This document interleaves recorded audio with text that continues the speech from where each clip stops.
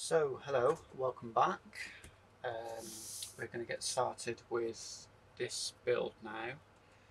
Um, as I said before, uh, we'll start with the bodywork first. So, I'm just going to go through and identify which parts I need for that. Um, easiest way I do that is, is I check for the instructions for anything that needs to be painted the body colour. Um, in this it's marked with an X. As you can see here it shows X as the exterior colour. It gives a mix for the exterior colour but as I said before I won't be using that. I'll be doing my own. Excuse me. So first thing we need is the footwell which is this part. I'm assuming that it's the underside that gets painted as the exterior colour. So using uh, Tamiya's side cutters, um, just because I like them, they do the job. Trick here is not to cut too close if you can to the part. You can clean it up afterwards with a blade. So, and then Next piece we need this rear wall, which is from the cab to the sleeper. The thing I don't like about Revell kits is the trees aren't that good. They're quite close to the part, so you have to take quite a chunk off and remove it later with a knife, otherwise you risk damaging the plastic, which you've then got to clean up. So that I'm assuming is the firewall, yeah. We just nip these off. I will speed this process up shortly because I'm sure you don't want to sit there watching me remove parts.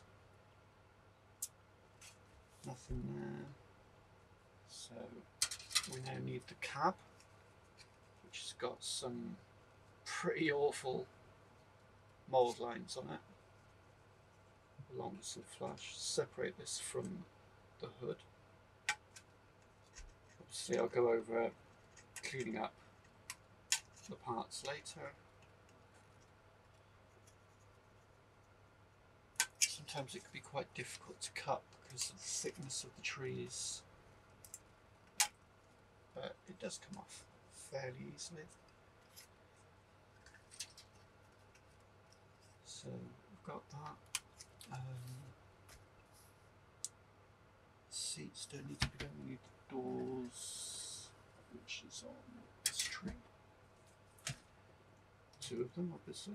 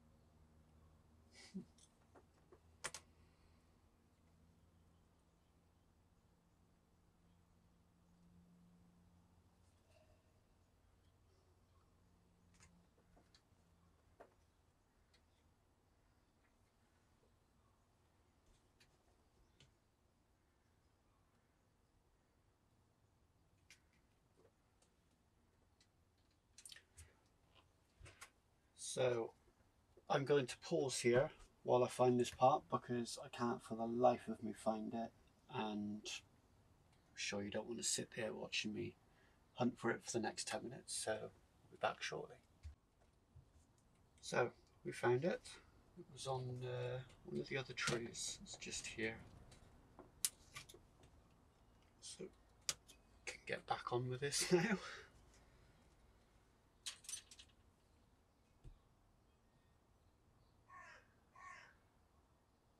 That's a chrome part, so we don't need that just yet.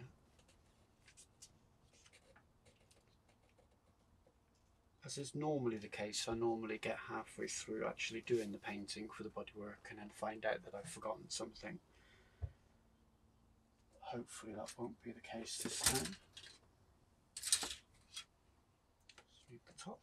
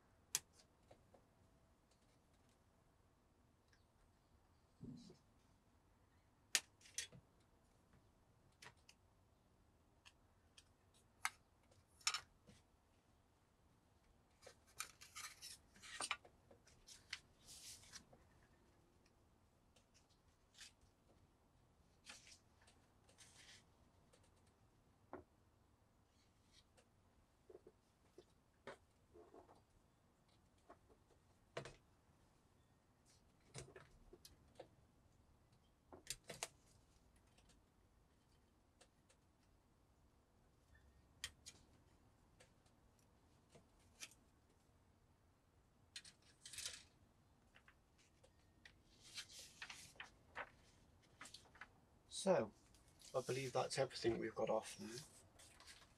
So, next step is to clean everything up. Um, Revell kits, yeah, they can be very hit and miss. Um, this one has got a lot of flash and a lot of mould lines, some of which are going to be fairly easy to clean up Others are probably going to need a little bit more work. Moulding on the side of that hood is appalling. But we shall plod along. So when I come back, I'll go into a little bit about cleaning parts up, but I won't spend too much time on it. Um, I know from my own experience of watching other people's videos that there's nothing more boring than watching people clean parts. So we shall be back shortly. Right, so we'll go over the basic process of, of cleaning up a part, um, just for those watching that might be might be new to modelling. So this is the front mudguard and you can see there's a couple of bits that need cleaning up. There's the nubs where it joined onto the tree and there's a bit of flash just around here. I'm hoping this is showing up on camera. So we're just going to go over. Um, I normally start with a fresh blade just because it's sharpest. And a lot of the time, the bulk of the work can be done with the blade, and it's just a case of just carefully going over and just you let the blade do the work and just smoothing off where the excess plastic is. Can see this is an example of what I meant by being careful how close you cut to the tree. You can see that's actually taken a chunk of the plastic out with it. Um, not really much I can do about that at this point. Um, I could try and fill it but as it's on an edge, it's going to be really difficult to do, and it's so small that you're not really going to notice it. Try and hide it somewhat by just altering the shape of the part slowly. It's got a bit of flash that needs to come off anyway.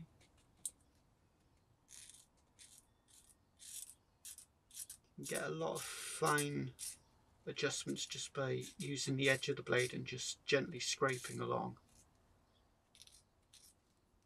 as part of the cleanup process. You can see that's pretty much gone now and it doesn't look like it was ever a problem either. So the flash on the inside, again use the blade, you just carefully trim it off fairly close to the actual part. You'll find it comes off really really easy because it's usually very very thin plastic.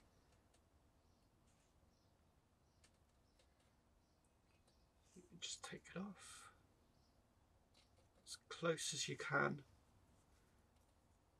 See the majority of that's come off now. The rest cleanup can just be done with the edge of the blade and um, I also use Tamiya sanding sponges for this process. I've got 400,000 and a 3000.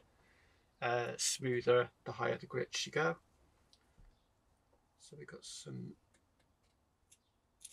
an edge on here. Doing this at a slight angle allows you to smooth the edge a bit as well. You don't want the edge too crisp for anything you're going to be clear coating. Um, it tends to cause a problem with the way the clear coat hardens.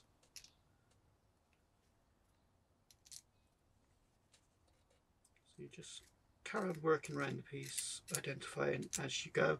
This has actually got some ejector pin marks on the inside. I'll go over those later because they're a different animal altogether. Um, some can be filled, if they're recessed. Some can be sanded down if they're above the surface. Personally, okay, I'm going to go over this now. Personally, I make a decision based on where it is. Um, if it's not going to be visible or if it's going to be extremely hard to see, then for the most part, I tend to leave them alone. Um, I'm not building for competitions. I'm not expecting anyone to go around my model with uh, a steth uh, stethoscope, whatever those little tiny cameras are called. Um, uh, you know, I'm not looking to win any awards. I just build because I enjoy it. So, personally, I don't really get too stressed about dealing with ejector pin marks. Um, and to be honest with you, filling and sanding, or sanding I'm okay with, filling is a skill that I still struggle with even now. Um, so I tend to, like I said, if they're blindly obvious, then then yeah, they need to be dealt with. But if they're not, I tend to leave them alone. Um, and that's, that's all there really is to, to cleaning up parts. We'll go over mould lines in a bit because again that's a different process. Um, the minute I'm just focusing on where the parts come off the tree and any flash. Um, for instance, the, the mould lines that are on the back of the cab, um, that's going to need a fair bit of work. Although again, it's not going to be all that visible. guessing that doesn't go on there. That's the bit I'm looking for. By the time you've built the rest of the cab, you're not going to be able to see that. You're going to be able to see the top one maybe, although that piece will go on there so yeah the top bit will need to be done but these side bits probably won't need too much stressing about because they're not going to be visible. But they still need dealing with. They just don't need to be perfect. So back to the mudguard. I think we're almost done on this now. It's just softening the edge, as I said before, um, with anything that you're going to be clear coating, the sharp edge can, in my experience, cause problems. Because as you can see, the bulk of the work is being done with the blade.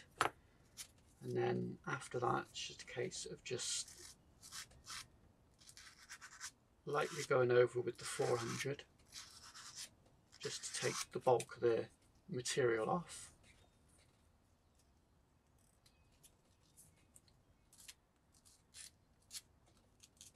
Just be careful not to touch the surface of the plastic otherwise you're going to put some pretty horrendous scratches into it.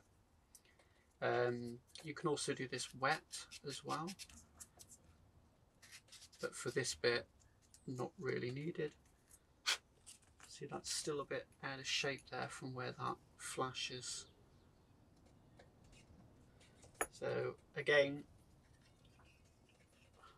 again you can test fit things as you go. Obviously that hole's going to need widening.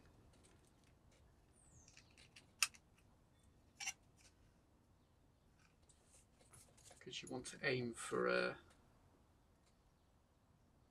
nice snug fit to avoid any gaps or filling that might be needed later. need to get rid of this so that I can test fit this mudguard, see where I am with that. Obviously, as I said, that hole's going to need opening up before this will fit.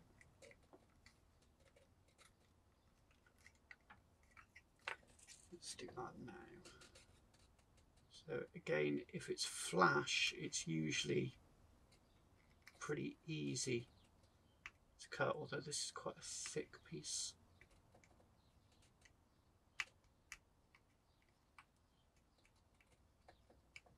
Thick piece of plastic here.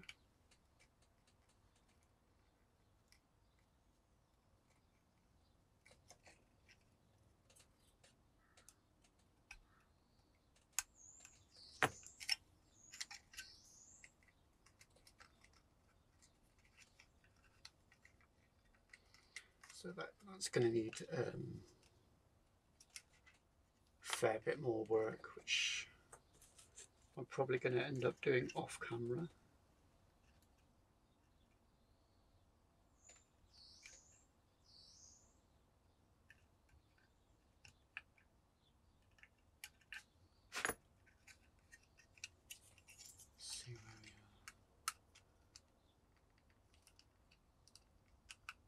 So I'm going to go off camera and sort this out and be back in a moment. So I've got that opened up. You can see I get a fairly, fairly snug fit.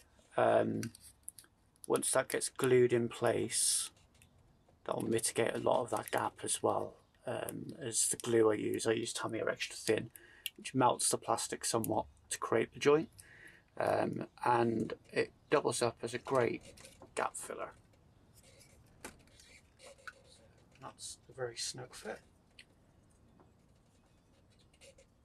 So once you've got the bulk of the the flash and the edges sorted, just soften everything back up with a higher grit sandpaper just again just to take those edges off. Like I said, I'll deal with those in a separate separate video.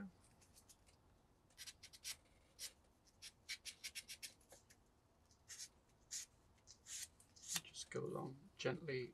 This is just basically now smoothing off the damage that you did with the 400 grit. Still got an edge on it.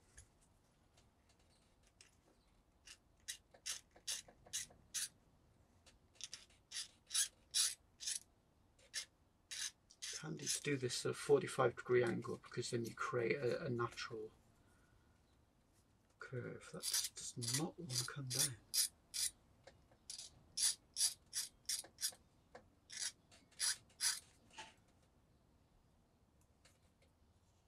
Again, doesn't matter so much about this bit because this this inside face will meet the side of the hood, so it's a bit better. And then use the 3000 grit to smooth everything off. Again, you do somewhat repeat some of this when you're prepping for priming. Again, cover that in a separate separate video. So yeah, and that that's basically basically all there is to the initial cleanup phase. Anyway, um, normally you do several passes with with cleaning up the parts. Um, a lot of the time, you'll find after you start applying primer that you'll find some more cleanup that you need to do. That's the purpose of primer. So just work around the rest of the parts and I'll come back to you when that's done. Okay, so I found a good mold line to use as an example on this cab. Um, this line down here. So hopefully you can see that. Um, needless to say that looks pretty awful. I've already done this side. As you can see it looks a lot nicer. Um, I haven't done anything with this little recess here because this is where the sun visor slots into. So it helps locate that into place. So that needs to stay there. But this bit obviously definitely needs dealing with. So the way I do this is again I start with a blade. Now obviously you've got to be careful because you don't want to put massive scratches in your plastic.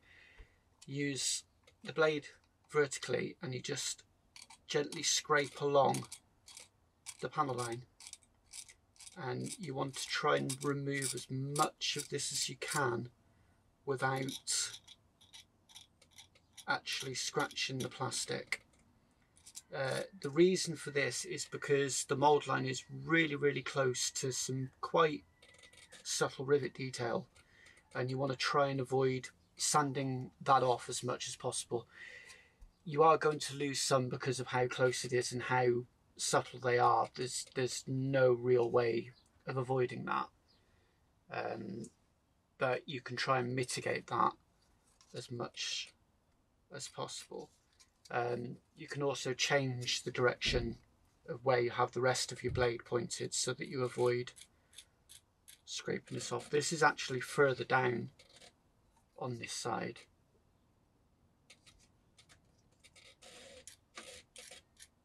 But we should be able to get the majority of it off without affecting these rivets here. The other thing you want to watch out for is, especially as this is just on a curve, is you don't want to make a flat spot. So you can just alter the angle of your blade as you're doing it just try and keep that curvature there. I'm not putting any pressure on this at all. I'm just scraping it along. I'm not pushing down into the plastic. I'm just scraping along it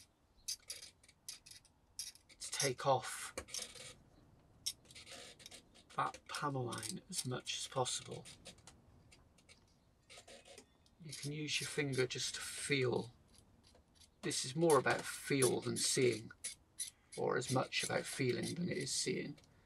Um, you can see that's started to, to take the majority of it off. And you just carry on working. This bit is, can be a little bit difficult because it's white plastic, so it's really difficult to see. And you've got a lip here for the door rubber and a lip here for the window chrome, for the window trim. So it's trying to avoid touching that as much as possible. And still getting rid of the mould line itself.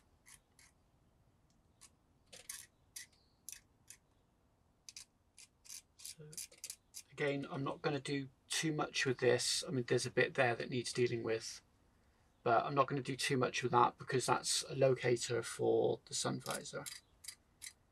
So for now, I'll just work up as far as there. I'll deal with this off camera. So that's coming off now. There is a little bit here, which I think that's actually a panel anyway by the looks of the rivets along it. So I won't go along. It's just this vertical line that needs dealing with. So the bulk of it as I said is done just gently using the blade the edge of the blade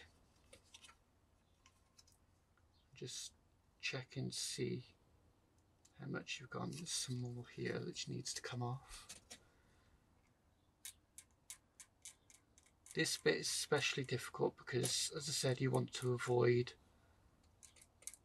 flat spotting it because that's well there's pretty much nothing you can do about that if you've done it because then you have to start taking plastic off in a larger radius around.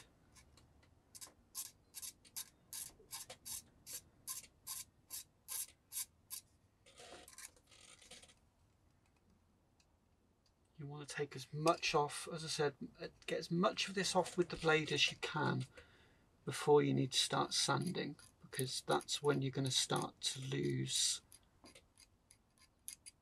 surface detail. Obviously you know some detail you can go back and add like the the recess panel line here if you know you need to you can add that back by scribing later on It's a bit there and it just will not go. You sometimes get some stubborn bits. You just have to change the angle of your blade and just work it. It's very exploratory as you go. Uh, you can see the majority of that now is is gone. The rest of it is done using some sanding sponges um, I don't always work completely up the grits. Um, for this, I'm not. I'll be using 600, 1000, 2000 and 3000 to finish off. Um, I'm starting on 6000, uh, 600 rather, because I've got the majority of it off with the blade. If you've still got a lot left that you can't get with the blade, you'll have to start with a lower grit, which then I would recommend wet sanding because you're going to put a lot of scratches on and so with 600, just it's a case of smoothing off the damage that you've just caused with the blade. Again, you want to try and avoid sanding off the lips for the window and the door trim. Um, just use your finger just to feel if there's any rough. Now, there still will be a little bit of roughness because of the grit that I'm using but you sort that out afterwards. You just want it even and level at this point. Um, good thing about these sanding sponges is the sponge, so you can mould them into any shape and you can really get into a, a tight area without needing without it needing to be flat. You just work it, try and go in the same direction, and like I'm doing. Sometimes you have to use a different direction. You will also find that as you're doing this, you'll find bits that you need to go back a step. As I found a bit here, um, just on this bit here, that I need to go back to the blade because it's still quite proud.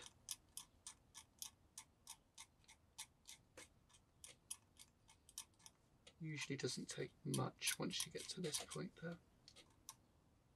Sometimes get a stubborn bit you do have to just gently nip off. That's it, that's gone. And then go back to the back to the sponge. Carry on working. Right, I'm going to speed this next bit up just so that you're not sitting there watching this for so long.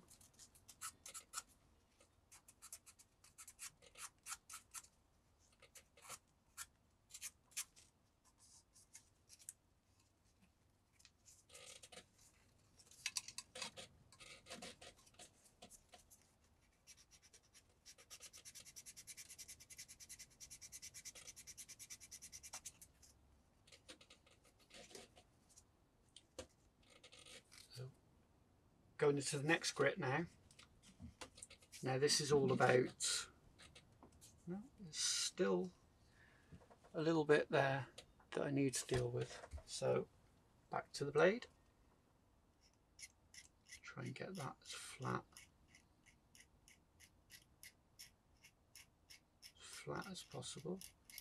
This panel line is probably going to need rescribing after I've done this.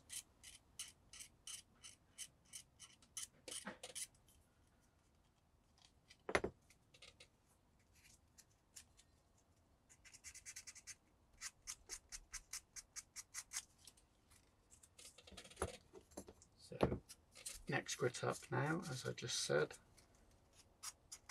Now, you, what you're doing now is you're making the plastic smooth again. You get rid of the scratches that you've just put in by using the 600 grit. You can do this wet. Um, sometimes it's better to do it wet because you, you create less damage in the first place. Still an issue there.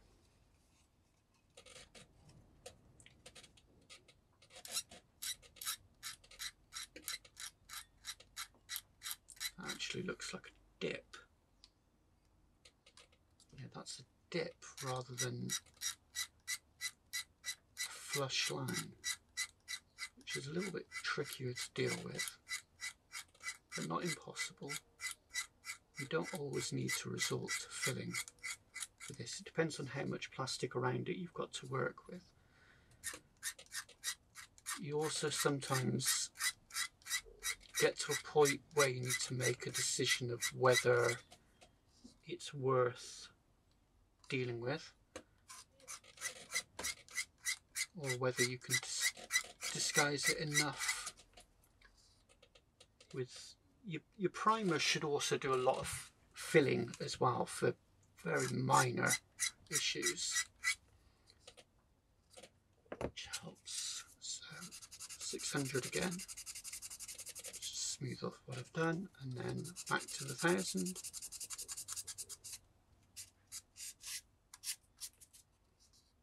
That's better.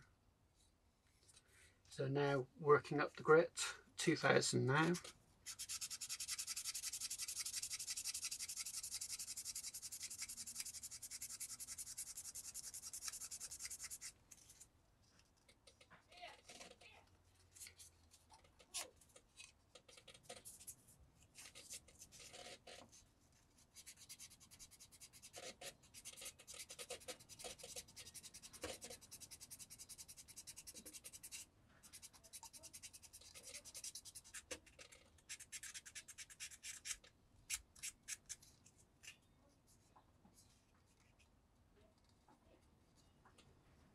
and then finally the 3000 grit to smooth the plastic back off. Um, you can be a little bit more broader with this because unless you've got some incredibly fine surface detail you're not it's not really going to remove much material so it's not going to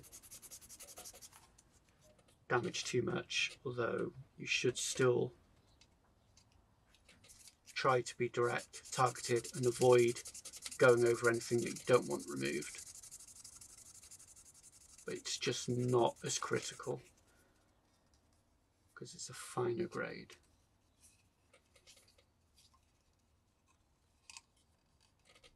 So there you go. Like I said, this panel line I'll probably have to rescribe a little bit later because and the same on that side because that's it's almost completely gone on that side that rather nasty line once that's primed you're then not going to notice that. Um, again same principle for for any other areas. Some of them need more work so you might find you have to start with a lower grit sanding sponge. But the process is the same you just work up the grits once you've got the material removed that you need to remove. So I will crack on with that and we will come back soon. Right so moved a bit forward with this. Um, quickly wanted to touch on dry fitting as you're going through the cleanup process. It's really important to do this so that you can make sure that you've got a good fit between the parts and address any issues before you start putting paint down. If you start having to hack away and, and reshape things once you've done your painting, you're going to wreck your paint job. There's, there's no two ways about it. So uh, oftentimes things will just dry fit together and a lot of the times, depending on the kit, a lot of the times they'll they'll hold themselves together. Um, there's no glue on that; it's just all completely dry fitted. So you've got the cab, the sun visor, the the internal back wall, the internal floor, and the firewall, and they're all dry fitted. They go together well. There's no, there's not going to be any joint issues once a start gluing things together post painting or before painting, depending on what you're working on. Um, same with the rear, the, the sleeper cab. Um, I did actually have to use a bit of tape just to hold the parts together for that. Um, the floor's just loosely sat in there on its nubs. But again, you just want to make sure that everything's going to fit together nicely. Same with the roof. Um, the roof needed a little bit of reshaping on the bottom edge and the same with the, the top edges of these parts to get it to, to meet up. I'm undecided whether or not I'm going to glue this roof on because there's going to be a lot of detail in there that's going to get lost and be really hard to see. But with fitting it on with just not gluing it on, you can't really do much about any small gaps. So it's a trade-off. Uh, it's a trade-off between between that and having the internals accessible at a later date. If you were so inclined with having it this way, you could possibly add lighting to this and have easy access for a battery and a place to put it. Um, again, you would have to omit some of the detail that goes in there, but if you were inclined to do that, it would be fairly easy to do. Truck kits are good for lighting because there's always usually plenty of space somewhere to hide hide the power source without having to rely on a, an external power source. Um, another truck kit that I'm got in progress. It's on the back burner for a while now. I've actually fitted the battery inside the fuel tanks. Um, the fuel tanks are in two halves on that kit. I haven't got it available to show you. And I use some little neodymium magnets to hold the two halves together and that works really really well. Um, you could do something similar in this if you wanted to. I'm not going to because it's a lot of extra work and it's just not work I'm willing to it's not time I'm willing to invest in this particular kit.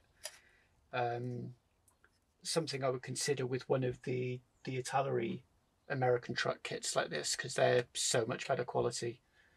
But for this, I'm not doing lighting. So anyway, going back to dry fitting, everything seems to, to fit okay.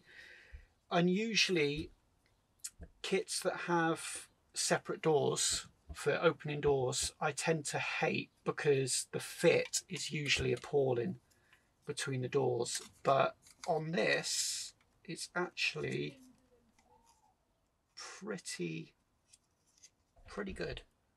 Um, there's very, very small gap with the shape of the door. A lot of that will be mitigated once I start adding paint, especially with the 2K clear because that goes on quite thick. So a lot of that gap will disappear, but it's actually, considering it's Revell, I, I shouldn't speak down of Revell because they, they are good, but they're not known for their fit. Um, it's it's pretty good. That one won't fit in yet because I haven't started cleaning it up. So it's still got some nubs. But generally, there you go. Generally, they fit really, really well and really snug. Which is a nice, nice change. So I'm almost done with the basic cleanup stage. So I'll crack on with that. And then come back when we are ready to start planning what to paint and when. Probably will do some of the internals first so that I can get these parts assembled before I start priming and painting them.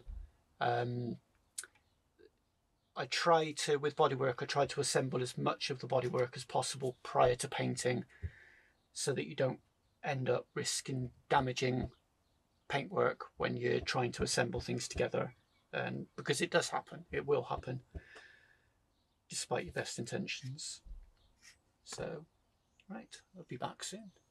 Right so we're ready to start putting some paint on.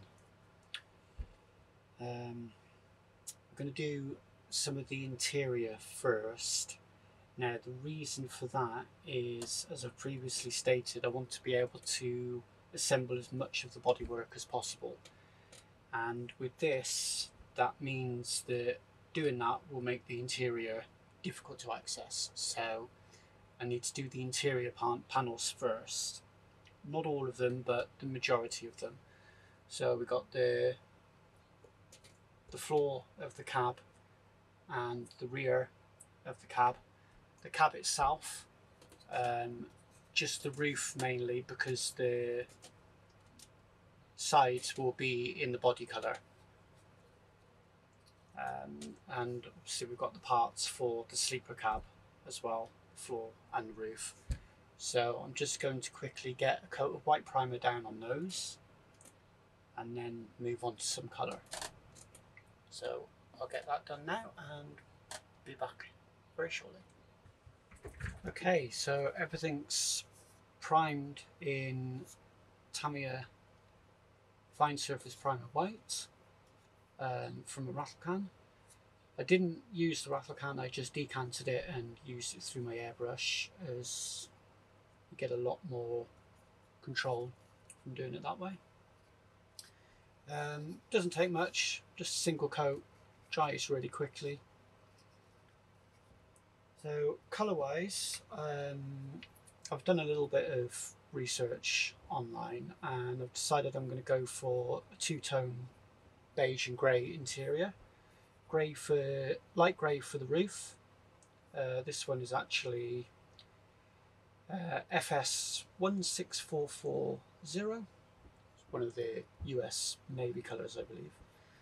And sail colour from both from Mr. Hobby Sail colour number H85 will be for the beigey interior for the walls and for the floor, for the carpet, I'm going to go for a darker grey, not really decided what colour yet, it will just be a darker tone. Let's see what that one looks like. yeah, possibly that one. Possibly that one. So I am going to need to do a little bit of masking um, inside the cab because these walls will be the body colour and also the grey will start from this top row upwards and the beige down. So I'll do the beige first, let that dry and then mask off where I need to and do the grey. So I won't need to do that one or that just yet, or those. So it's just going to be these ones. For the sleeper cab, um, I'm not sure where I'm going to do the demarcation for that because the cab roof will probably be the best place to do that. Although I could do it one row down. I don't know. We'll see when we get to it. So I'm going to go off and get the beige sprayed and I shall be back very shortly. So that first coat's down of the uh, cell colour. We'll, we'll call it beige because it's easier. So it's gone down nice and smooth and it's dried quite quickly. Now I wanted to add a little bit of depth to this because that looks quite plain and still looks like plastic. Um, now I was going to try and pre-shade but I decided against that because it would be too much faffing around. So instead what I'm going to try is you can see that there's very subtle surface texture um, and it's recessed lines. So what I'm going to try and do is brush over it with some brown Tamiya Panel Line Accent colour and see if I can just bring out some of that details. I don't know how this is going to go, so it might not go the way I plan. And I'm also going to do this live on camera, so it could end up being a disaster.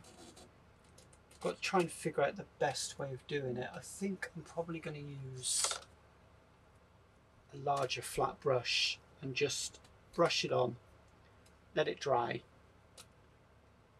or maybe I won't let it dry. I'll brush it on and then pretty much try removing it straight away. If that doesn't work, then I'll brush it on, let it dry, and then carefully remove it with a little bit of white spirit. Normally, you should gloss before you do this, to protect your paintwork. Um, I'm not going to because the, the effect I want is I want it to bleed slightly so that I don't end up with crisp, sharp lines. And it, looks more feathered and it'll look more natural, I think. So we'll see.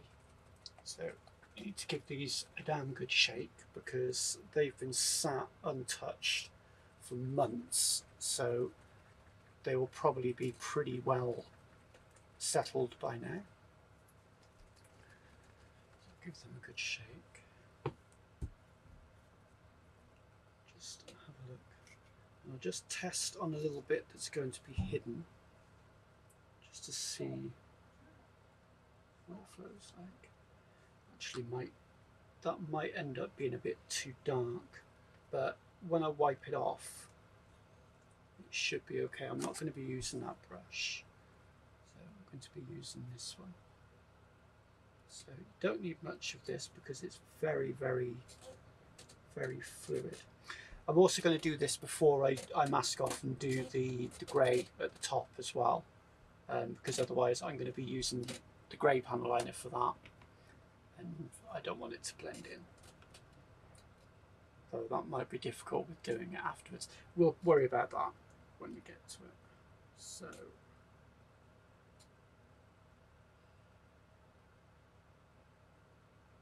just lightly brush that on.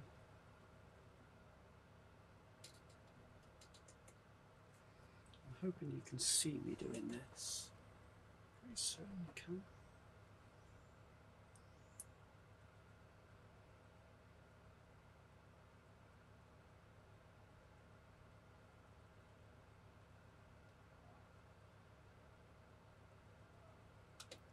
Don't need to be too exact around the frame because that's going to get painted separately anyway.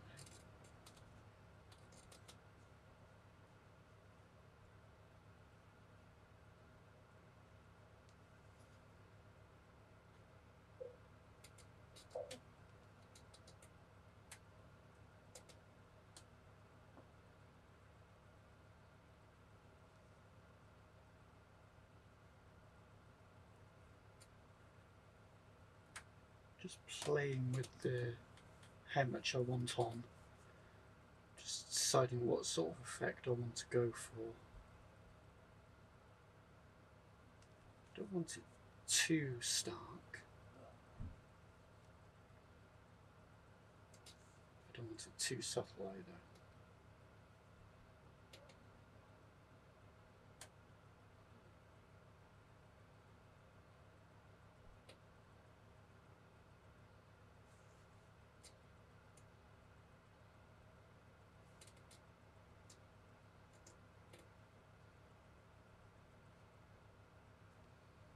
I don't know. I think it totally, obviously, totally changes the tone, which is why I went for a really pale beige to begin with. If I'd have gone for the sort of darker beige that I'm ending up with, then by the time I did this, it would have made it darker still, which wouldn't have been the effect that I want. Just trying to touch up and just even it out a little bit.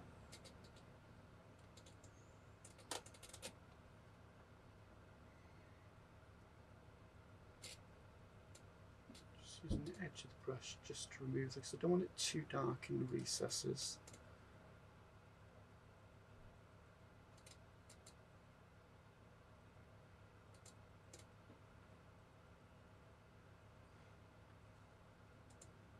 So yeah, I think that's going to look quite nice.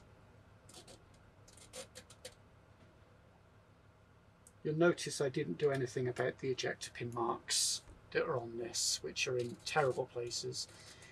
Main reason being is because of this surface texture. If I start sanding their recess, so if I start filling them and then sanding, I'm going to lose all of that really fine surface texture around them and it's just going to look even more noticeable. For the most part, none of them are going to be visible anyway. Um, for the ones that are in the back of the cab, I am tempted to try and make those look like internal lights just to disguise them a little bit, but we'll get to that later. I quite like that. I'm actually reconsidering now, looking at that, whether or whether to go for the two-tone or whether to just keep it like that. We'll see. So, do that one.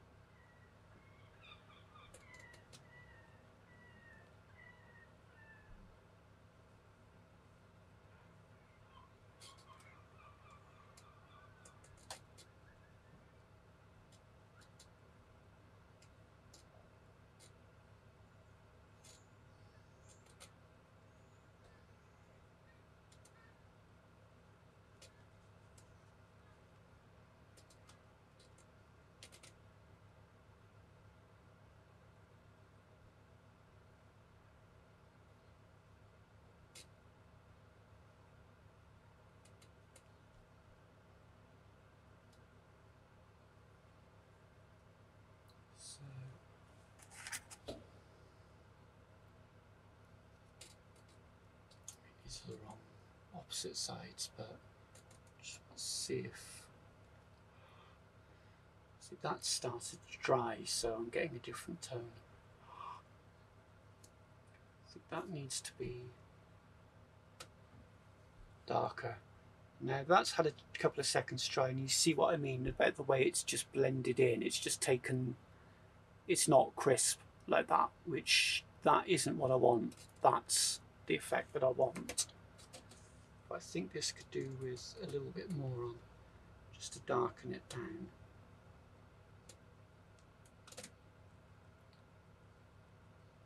So you don't need much of this on the brush because it's very very thin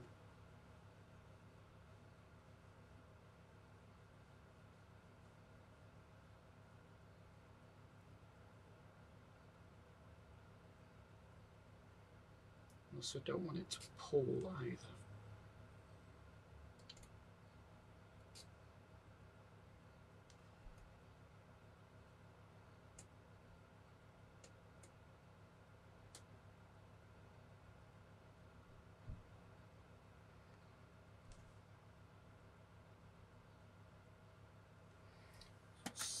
side. And then do this piece next. Although this doesn't quite, that's not quite dry yet. So we'll leave that one for now, we'll come back to that one later. This one I was going to do the door panel in a different shade, but I think I'll leave it as it is. for now.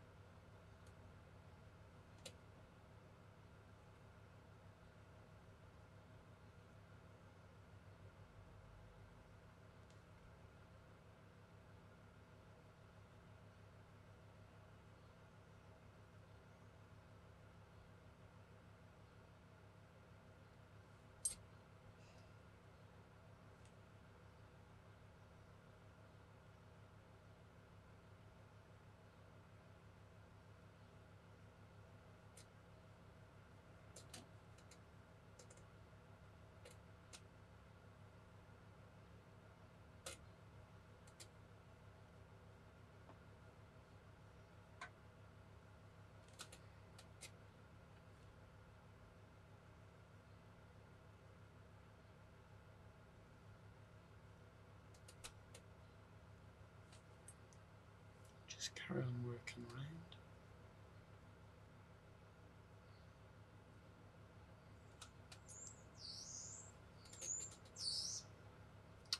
Way too much on the brush there.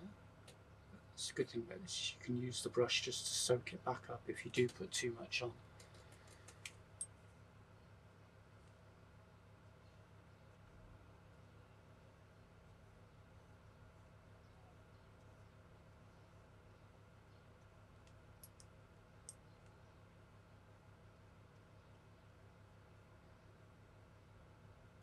See these gaps, there's um, internal parts that go there, so I don't need to worry about covering those. There's no detail on them to pick out anyway.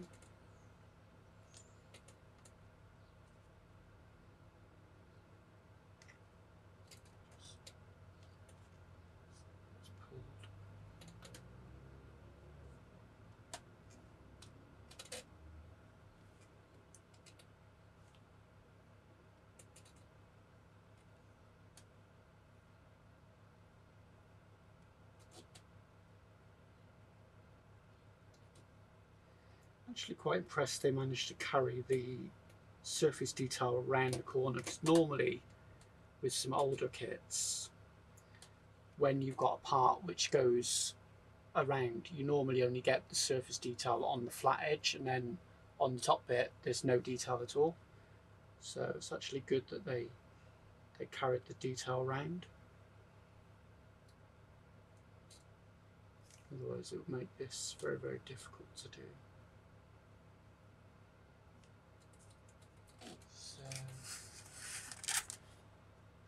these aren't drying the same. That's not too bad. I need to go back over these again at some point. This does look like it's having a reaction. This is why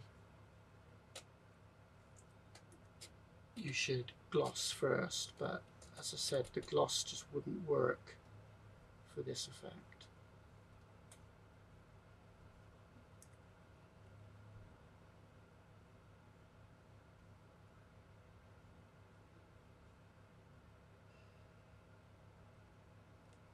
The only downside to this stuff is it takes forever to, to properly dry. Not as bad as oils, but not far off.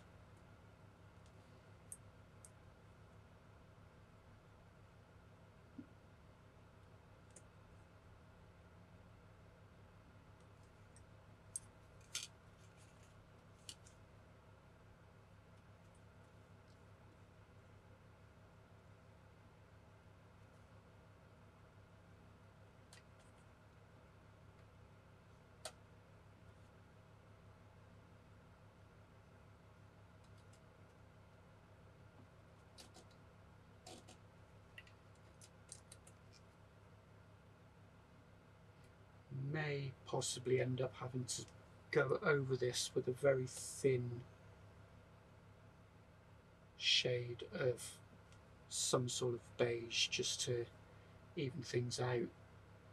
Um, that's going to need a coat.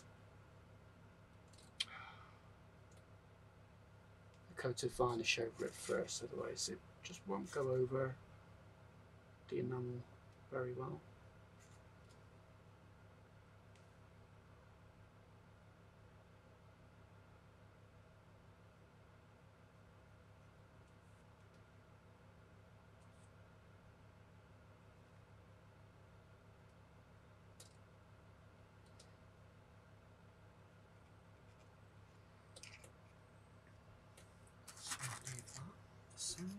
start on this one now. So, same thing again.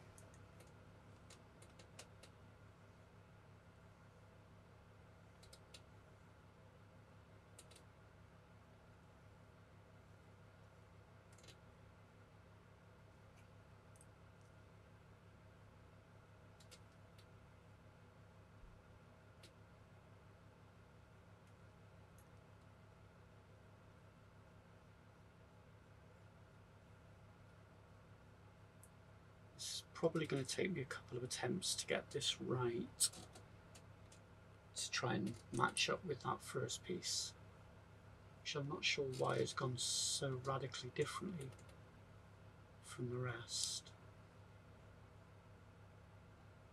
But obviously that I will do off camera so I'm not boring you senseless watching me try and figure it out. Once I do I will obviously let you know what I did.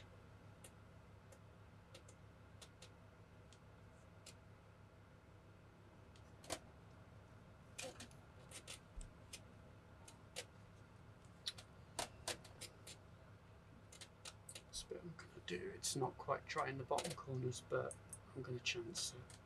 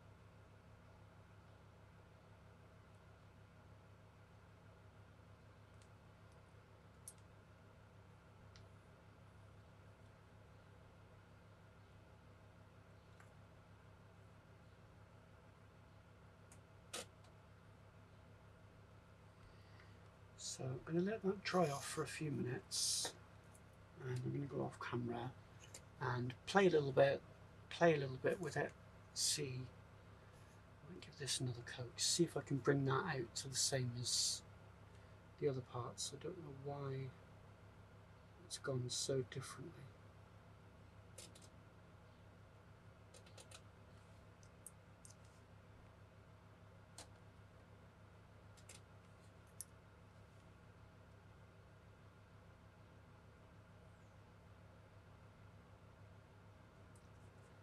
Bit better. I've gone the other way now to the effect that I wanted. This is normally the case. I get a rough idea of what I want to do. And then I normally end up tweaking it as I go. Make sure there's no air bubbles. So, so I'll leave that to dry for a little bit and then we'll come back and see what we're left with and see what we can do. So I've progressed somewhat with the interior. Um, I've done the the grey for the floor and the roofs. I've also gone over them with a wash just to give them a little bit more detail and just make them a little bit more look like more more like carpet than just painted plastic. Um, I stuck with the darker grey for the colour as I had another look at the lighter grey and it was just way too light. And I used the dark grey panel liner just as a wash to bring out the detail. And say it looks much better than just plain plastic. I've also done the, I'm not quite sure what that is, it looks like a carpet runner to me that you get in your house, but I've masked off and done that in matte aluminium. You can see I've got some bleed on the bulkhead. That's unfortunately with using a wash and trying to mask, you're never going to stop it from running under, it's just too thin. But that can just be tidied up when I do the, the body colour painting. For the interior doors, um, I did those in grey. Um, my research seemed to suggest that the doors were were done in in a different colour upholstery, and I loosely masked off and did the the door seals in a matte black. And same with the the walkway through from the cab to the sleeper unit. Now, for some reason, the interior wall, the back wall for the cab, seemed to go a lot lighter. Um, I'm not quite sure why. It doesn't really matter. Got lots of dust here. Doesn't really matter too much as long as it's all an even colour. It's the only part of the cab that gets done in that colour as anyway. And I've also just roughly done the roof. Going to be quite hard to see the roofs anyway, so I've not spent too much time on those. For the next step, um, it's getting the body ready for painting and I need to do a little bit of assembly first. There is some other bits for the sleeper cab that I need to do, but I can do those later. I don't need to worry about those just yet um, because it's only the outer walls and the floor of the cab that I need to assemble at this point the sleeper unit that I need to assemble. Um, same with the cab, I don't need to do much else on that. I could fit this, but I don't really see the need. Um, at this point, I need to make sure that I get the there's the inner surface of this part. It does stick out. I think it's designed that way to, to form part of the door frame, stop the doors from just going completely inwards. So I'll need to make sure that that's the body colour as well. Um, obviously the door trim, that'll be rubber. Again, I'll do that afterwards. so yeah, that's where we're up to so far. So when I come back, I'm hoping to have the sleeper unit assembled and a coat of primer down, white primer down on everything, and then we can go through the next steps. So we will see you shortly. Right. so we've got a coat of white primer down on everything that needs to be primed at this stage anyway. Not really much to say about this. Um, decanted Tamiya white surface primer. Got a few issues I need to deal with there. Not quite sure what those marks are. They weren't there a few moments ago. Um, off easily enough, so but that won't be a problem because this has got to have a, a silver base coat put over the top of it ready for the mica red. Bit fiddly to do in places. Um, this was tricky to get masked off and find a way of holding it at the same time. Um, but it's fairly secure you probably will notice that I've still got two big seams joint lines front and back. Now, normally they would need to be dealt with um, ideally before you put any primer down. However, neither of those are going to be particularly visible because this section will, the back ones will be on there anyway, so you're not going to see those. And the back it's got a big aluminium panel or steel diamond plated steel whatever the, the big panel is that are on the back of these trucks we'll go over that. So it's not going to be visible so I didn't waste my time dealing with them. Um, they're not really noticeable from the inside because of the way the, the interior is so yeah, that's probably going to be about it. I say probably, it is going to be it for this part. When I come back with the next installment, I will go over applying the base coat, silver base coat, and then the mica red.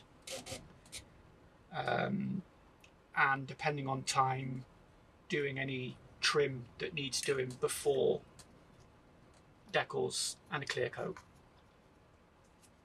So thank you for watching and I will see you next time.